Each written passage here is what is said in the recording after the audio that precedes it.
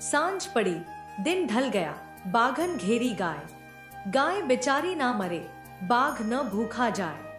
संत कबीर जी कहते हैं कि साँझ हो गई, दिन ढल गया, अर्थात जीवन ढल गया, बुढ़ापा आ गया, और बाघ ने गाय को घेर लिया, अर्थात मृत्यु ने जीव को आकर घेर लिया। फिर भी वह आत्मा रूपी गाय नहीं मरी, लेकिन मृत्यु रूपी बाघ भी भूखा नहीं रहा। आत्मा तो अविनाशी ठहरी, वह देह छोड़कर चलती बनी और बाघ ने शरीर को खा लिया। अंततः देह और आत्मा का संबंध विच्छेद हो गया।